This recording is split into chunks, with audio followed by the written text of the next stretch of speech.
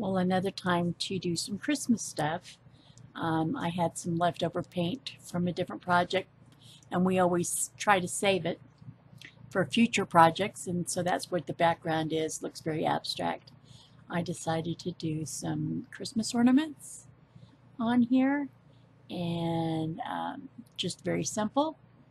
And as you see through the video, you're going to see at the end, I decided to try my hand at playing with glitter, which is very out of my realm of things that I do. Um, wasn't really pleased with it, how it turned out, and it made a mess everywhere. Now I understand why Mark gives me such a hard time about no glitter. He's another artist friend. We always argue back and forth with another friend of ours who just loves glitter. And I kind of see his point of view on it after playing with this one.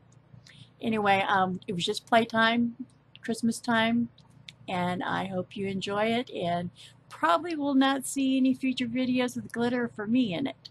Not raw glitter anyway. I'm just, it just didn't do what I thought it would. So you guys have a wonderful time and enjoy this and enjoy the holiday season.